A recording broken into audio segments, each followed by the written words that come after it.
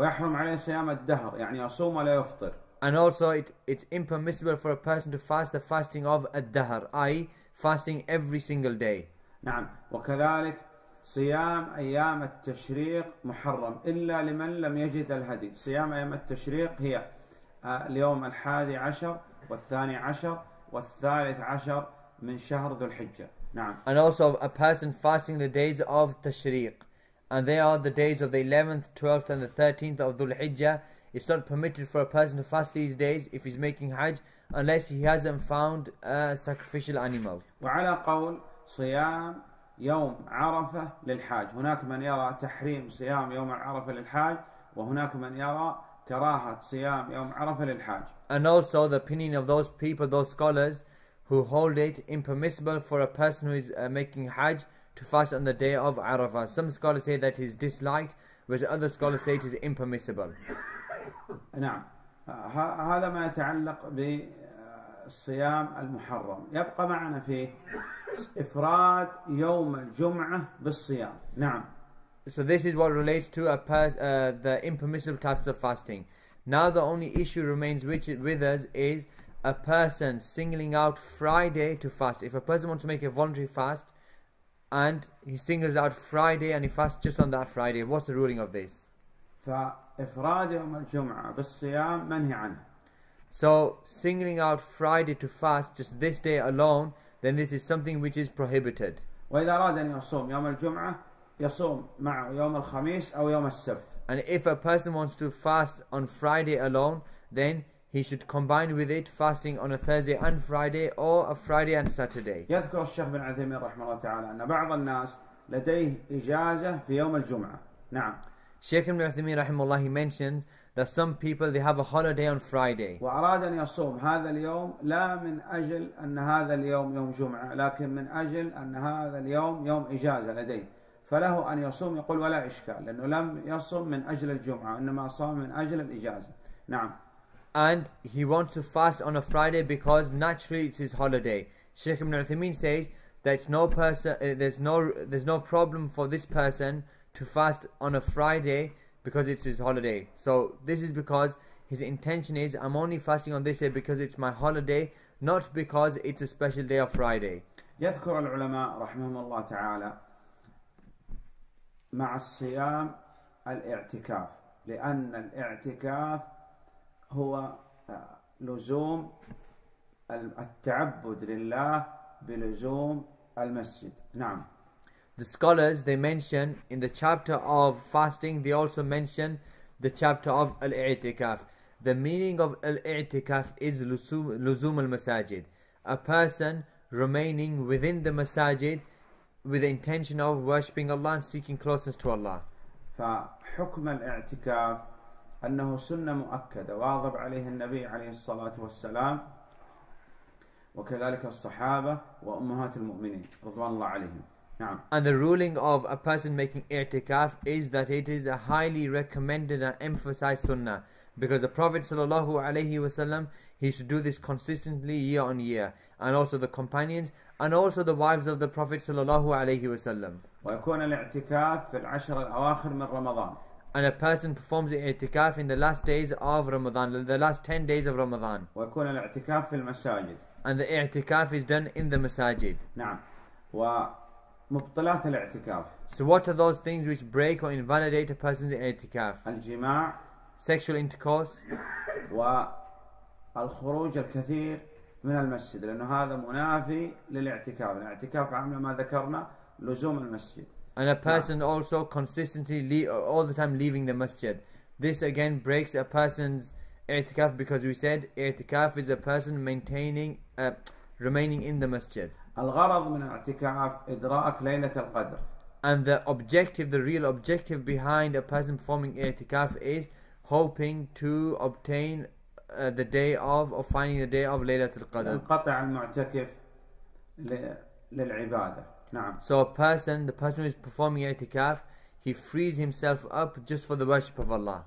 وبخاصة في الليل And especially at night. وبخاصة في ثلث الليل الآخر and especially the last third of the night. يكثر من الدعاء and a person he increases in his supplications. والأولى أن يدعو بما أرشد به النبي عليه الصلاة والسلام أم المؤمنين عائشة رضي الله عنها And it is better it is better for a person to fast uh, it is better for a person to supplicate with the supplication that the Prophet wasallam advised Umm al-Mu'minin Aisha radiallahu anha to do. فيدعو بهذا الدعاء So he makes this dua اللهم إنك عفو تحب العفو فاعف عني اللهم أي يا الله So Allahumma I O Allah إنك عفو العفو يعني التجاوز عن الذنب نعم you are the one who who has al-afu I you are the one who pardons pardons the sins and overlooks the sins. تحب العفو في إثبات صفة المحبة لله سبحانه وتعالى وجه الآك به تحب العفو you love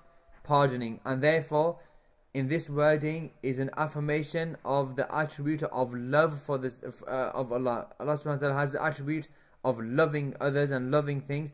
However, this love is befitting to the majesty of Allah. فاعف عني في بدني أو في مالي أو في ولدي أو في الدنيا أو في الآخرة يشمل خير الدنيا والآخرة ولو تتعب حياتك كاملة لن تجد مثل أدعية النبي عليه الصلاة والسلام And نعم. therefore, pardon me. I pardon me in my body, pardon me in my wealth, pardon me in my health, pardon me in my children and my family, pardon me in everything, I in all types of goodness. And therefore, if a person strives to find supplications, he'll never find the supplications like the supplications of the Prophet sallallahu alaihi wasallam. أكمل اعتكاف يكون في المساجد الثلاثة في المسجد الحرام والمسجد النبوي والمسجد الأقصى So the best type of i'tikaf, the most perfect type of i'tikaf is that which is done in the three holy masajid.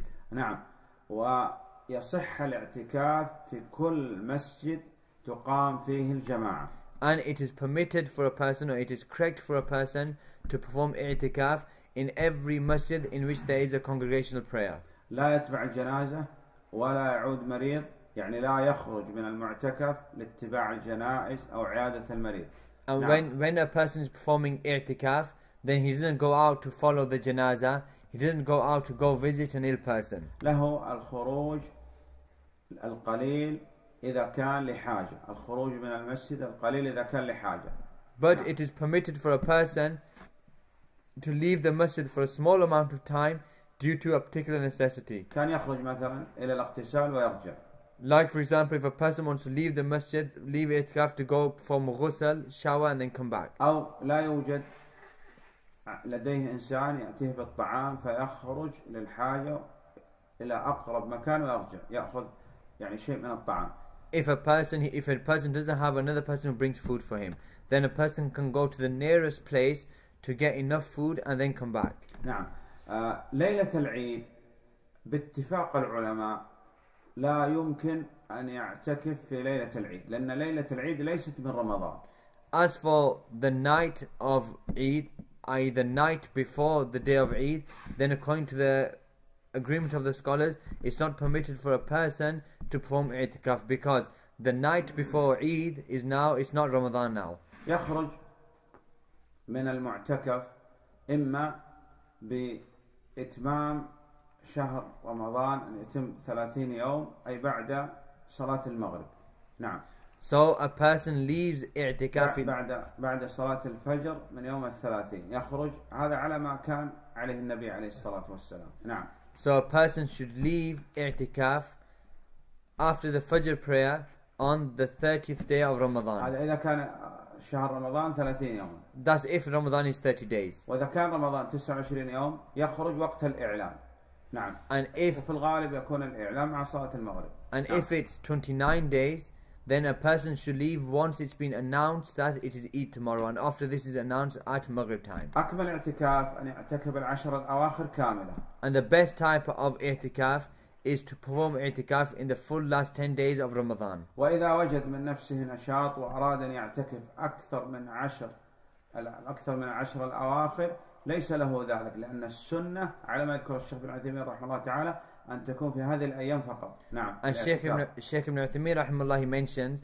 that if a person finds a desire or energy to perform i'tikaf more than 10 days, then he shouldn't do so. Because, because the sunnah of the Prophet sallallahu alaihi wasallam, according to what Shaykh ibn Uthameen mentions, is that person fasts the last 10 days. Person makes i'tikaf for the last 10 days.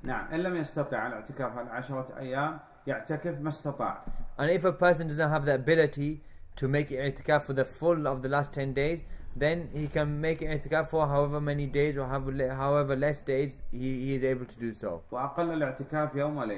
And the minimum amount of i'tikaf that a person can make is one day and one night. هذا ما يتعلق والله أعلم بصيام بكتاب الصيام والله أعلم صلى الله على النبي محمد وآله وصحبه وسلم